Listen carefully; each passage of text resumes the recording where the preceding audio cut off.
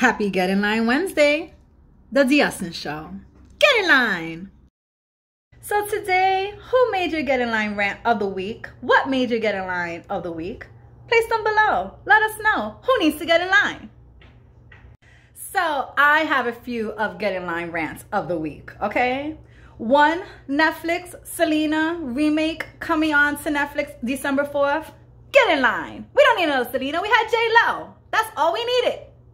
PF Chang's and Ridge Hill. Yes, Ridge Hill.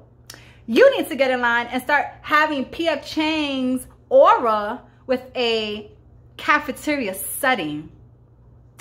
And the presidency needs to get in line. Why are we waiting 80 something days more for this man to get out of office? Does a job give you 80 something days before they leave you? Or when you leave them? No, it's a two week period.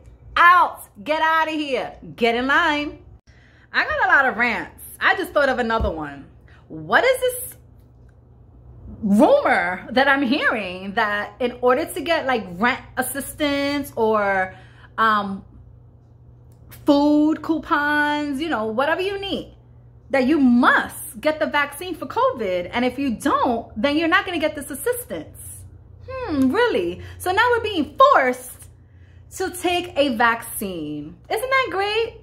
Y'all need to get in line. Nobody should be forced to take a vaccine. I get it, but I don't get it. And another one, my last rant of the day is, why is it so cold? Seasonal depression has arrived.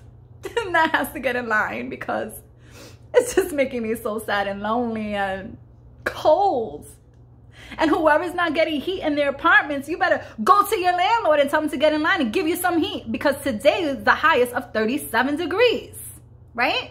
So yes, list down here. What are your rants of the week? I know there's a lot going on. I know there's a lot of things that are pissing us off. So yes, let's get in line with each other and let's have some fun.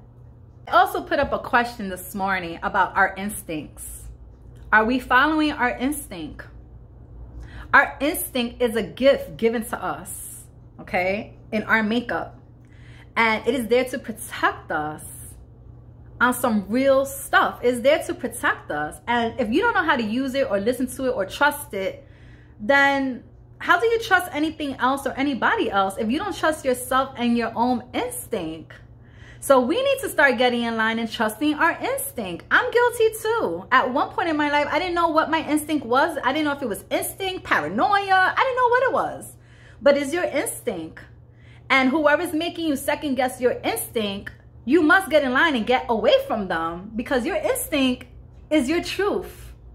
All right? So don't be scared of your instinct. Listen to your instinct. If you're not going to pay attention to it, at least listen to it, take note of it, and don't blame yourself later on. Oh, I should have listened to myself. Well, the instinct was there like, hello, and you ignored me. So now you got to go through it yourself. And if you look through my uh, Instagram stories, you can see a few people responding to it. And it's very interesting to see how people respond to ignoring an instinct. Listen to your instinct, guys. It's the best thing ever that has given been given to us. And thank you for joining us for the Get in Line rant on the D'essence Show. Happy Wednesday. See you next week.